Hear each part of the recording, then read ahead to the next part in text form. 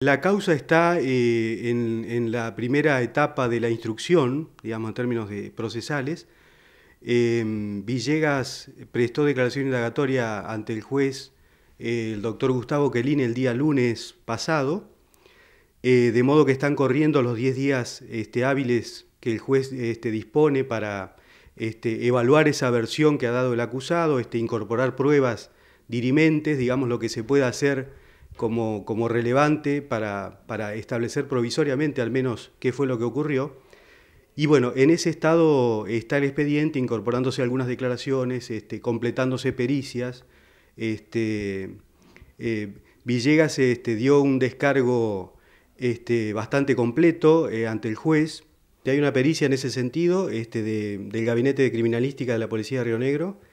eh, que establece la, la presencia de restos de pólvora y de, este, de digamos, la quemazón eh, en el cuello de la campera de la víctima,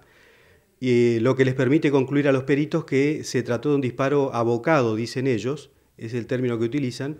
que implica que el, caño del arma, digamos, la punta del arma estaba prácticamente contra el cuerpo este, de la víctima en el momento del disparo. Y eso lo que tiene de, importante, digamos, es que, por lo menos desde el punto de vista de la defensa, permite descartar aquella primera hipótesis que, trascendió en las primeras horas del hecho, de que el disparo se hubiese producido este, a una distancia de dos o tres metros, este, en una hipotética corrida de Villegas a, la ulterior víctima, eh, cosa que Villegas afirma que no pasó, que nunca lo corrió, Villegas continúa este, detenido a disposición del juez este, de la causa y bueno, estamos a la espera, en esa condición va a estar este, por lo menos hasta que el juez se expida y establezca eh, provisoriamente al menos este, una hipótesis sobre qué es lo que ocurrió y en función de eso la responsabilidad que le, que le pudiera reprochar o no a Villegas. Da lo mismo eh, en, una, en, una, situación como, como la que se dio, digamos, de, este, de muerte de una persona, que esa persona tenga muchos antecedentes, pocos o ninguno.